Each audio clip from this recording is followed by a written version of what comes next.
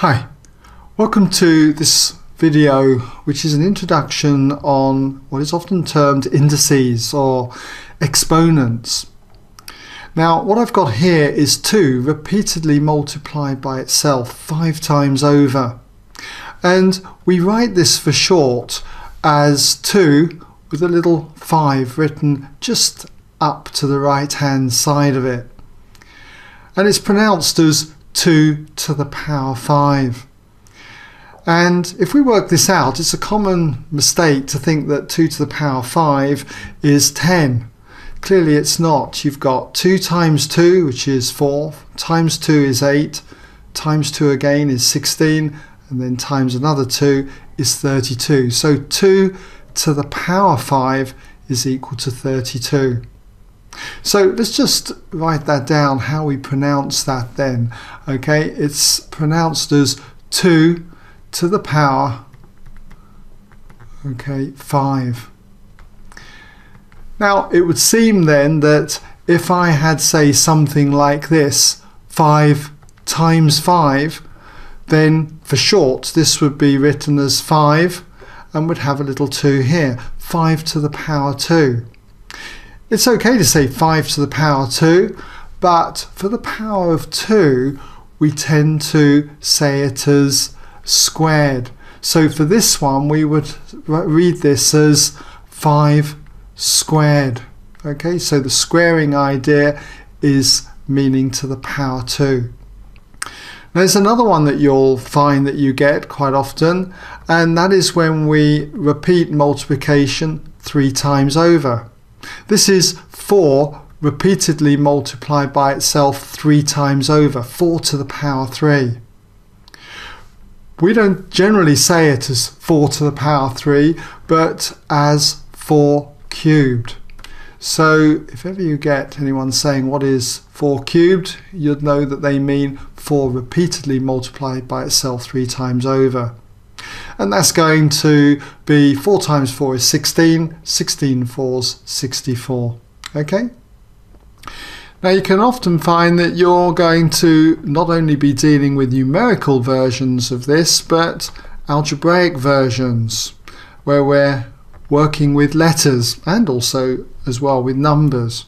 So for instance, if I was asked to simplify this x times x times x times another x, write it for short, then this is x repeatedly multiplied by itself four times over. So it's x to the power 4.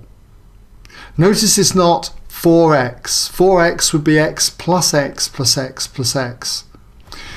Okay, now going back to numerical versions, suppose I had something like this. 3 times 2 times 2 times 2 times 2. How would we write this? Well, it is 3 multiplied by the 2 that is repeatedly multiplied by itself 4 times over. So we could write it as 3 multiplied by 2 to the power 4. Or we could write this with brackets 3 bracket 2 to the power 4. Either way, what we get is 2 to the power 4, which is 2 times 2 is 4, 4 times 2 is 8, 8 times 2 is 16.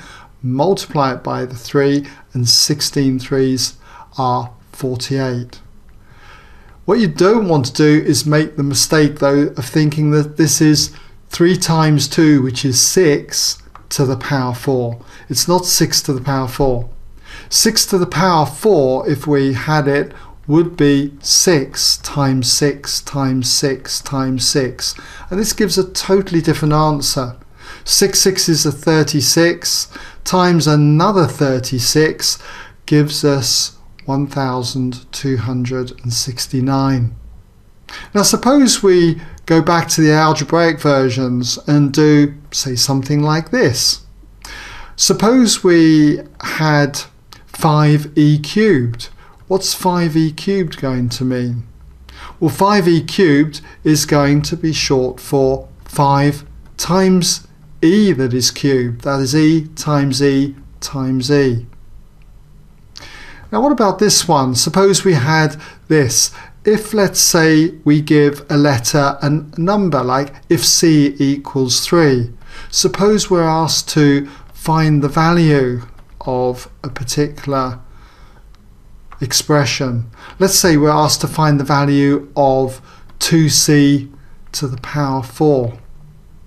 What's 2c to the power 4 going to be?